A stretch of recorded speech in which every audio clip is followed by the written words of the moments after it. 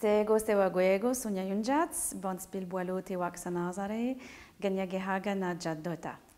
Euh, je m'appelle Sonia Bonspil-Boileau, je suis d'origine Ganyagehaga, Mohawk, euh, de Ganesadage au Québec et je suis ici pour présenter euh, le film Rustic Oracle.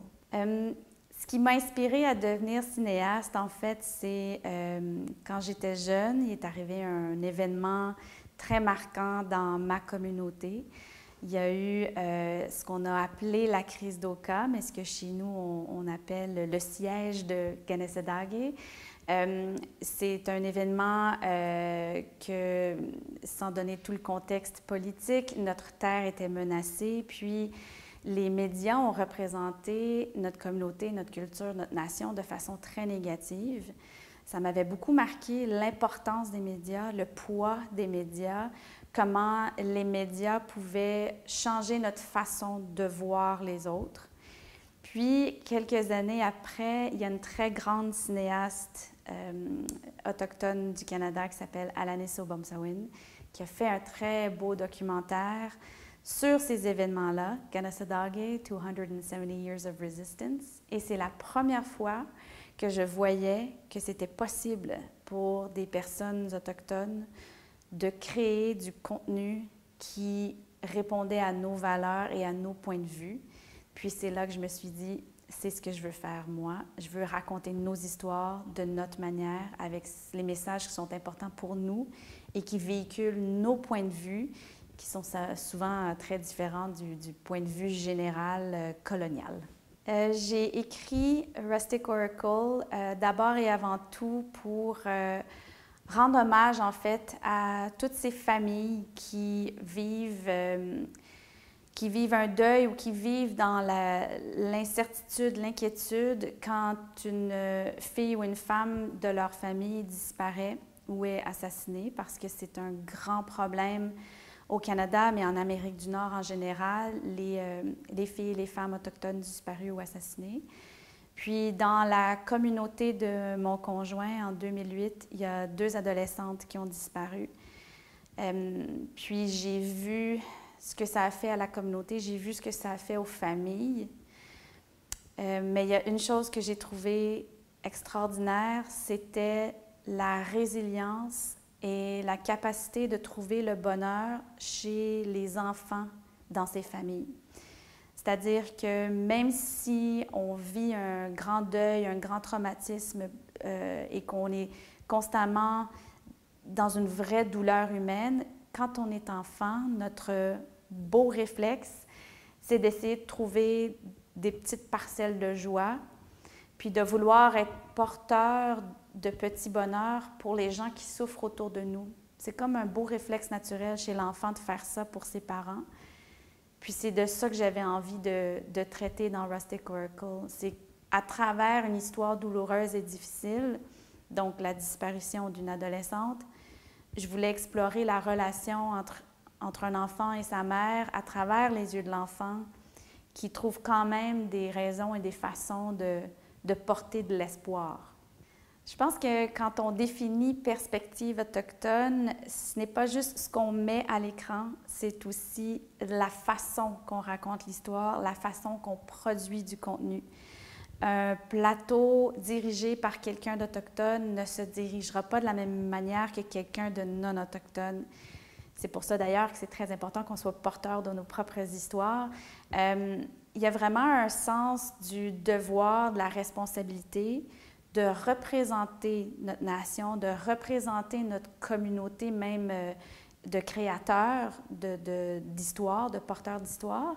Puis, il y a un respect du territoire. Donc, si on tourne en communauté, si moi je tourne en communauté, elle est très impliquée dans mon tournage. Je vais engager des gens. Je veux que ces gens-là soient rémunérés. Euh, tous les postes que je peux combler par des personnes autochtones, je vais le faire.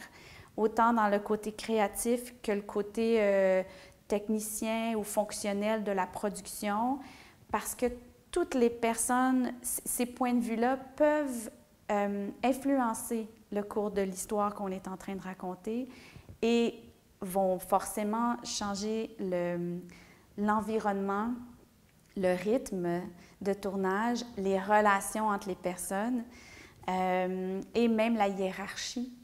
C'est-à-dire que sur un plateau normal, non autochtone, il y a vraiment une espèce de hiérarchie euh, qui vient là, de, la production et, ça descend. Puis il y, a des degrés en fait de, collaboration qui, qui sont parfois, euh, c'est pas aussi harmonieux et euh, c'est peut-être pas non plus aussi holistique euh, dans le sens que tout le monde a sa place. Quand on, est un plateau euh, dirigé par des créateurs autochtones, donc producteurs, réalisation, scénarisation, direction photo, euh, on sent le côté holistique de l'approche cinématographique. On sent qu'il y a beaucoup plus un, effet de collaboration et prendre soin l'un de l'autre et moins le, le côté hiérarchique qu'il y a habituellement.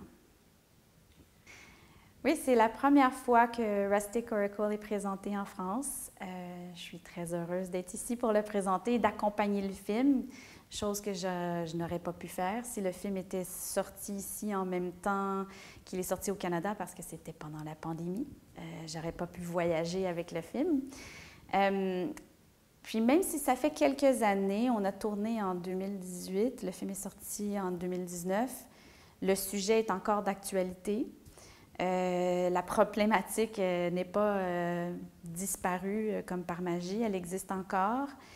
Je crois que la grande différence depuis, je dirais, 2018, c'est la prise de conscience collective.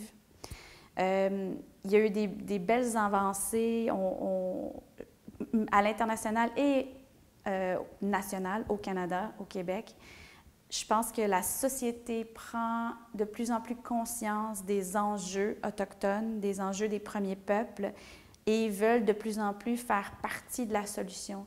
Ils veulent comprendre, ils veulent devenir des alliés, puis ils veulent faire partie, ils veulent embarquer dans le chemin de la guérison, en fait, que j'aime dire.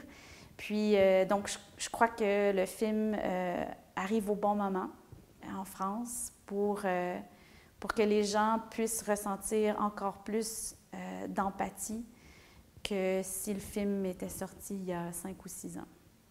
Euh, je travaille présentement sur plusieurs projets. J'ai la chance euh, d'œuvrer autant dans le cinéma que de la télévision, de la fiction. J'ai récemment fait une, série de six épisodes de, de, fiction, mais basée sur des faits réels, sur l'histoire des pensionnats spécifiquement au Québec.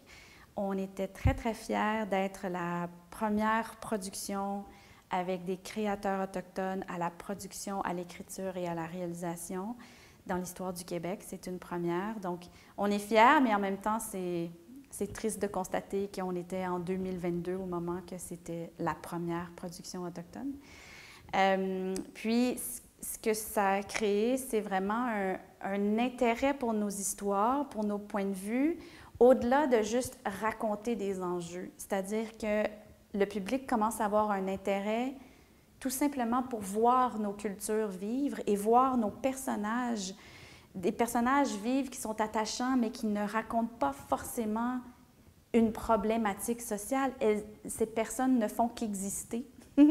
Donc maintenant, j'ai la chance de travailler sur une autre série dramatique encore pour le diffuseur public Radio-Canada, sans avoir le poids de raconter l'histoire avec un grand H. C'est-à-dire que j'ai carte blanche sur créer un environnement avec une intrigue, avec une histoire fascinante, dans lequel nos cultures vont juste transparaître parce que ce sont des personnes qui viennent de ces cultures de, des Premières Nations.